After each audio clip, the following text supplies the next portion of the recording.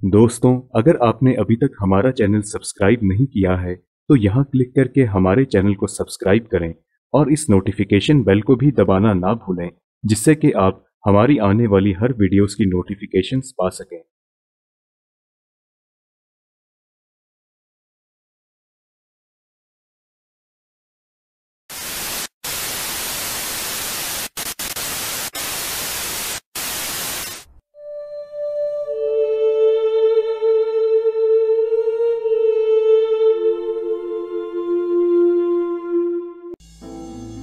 उत्तर प्रदेश की शिव नगरी जितनी अपनी धार्मिकता के लिए प्रसिद्ध है, उतनी ही अपनी मिठाइयों के लिए भी।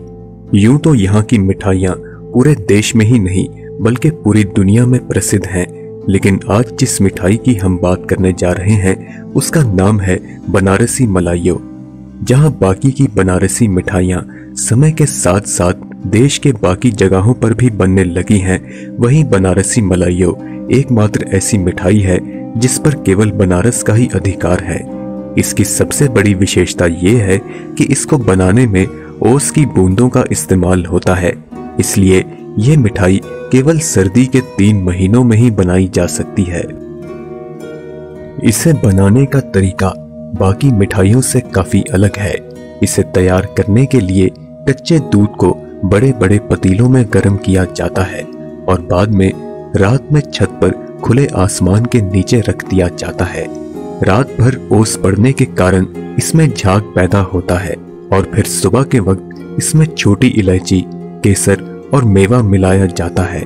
इसकी खासियत ये है कि इसे मिट्टी के छोटे बर्तनों में डालकर बेचा जाता है। ओस की बूंदों से तैयार होने वाली ये मिठाई आयुर्वेदिक दृष्टि से बहुत ही लाभदायक होती है।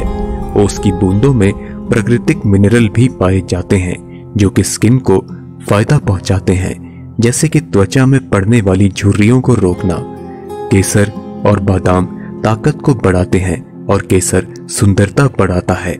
इसके अलावा ये मिठाई आँखों की नज़र के लिए भी लाभदायक मानी जाती है।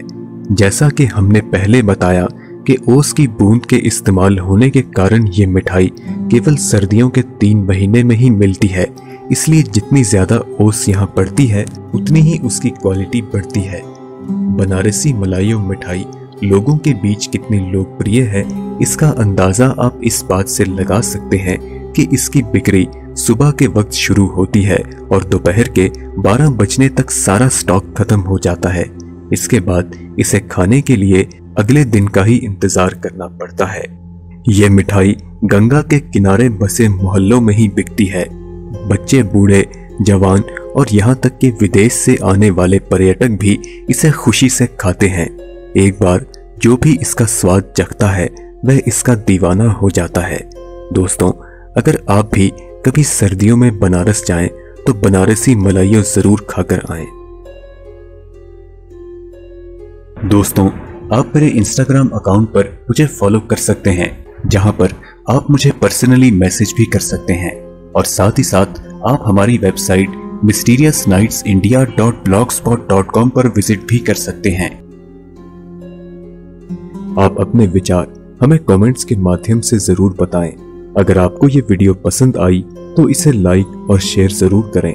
हम जल्द ही आपसे अगली वीडियो में मुलाकात करेंगे।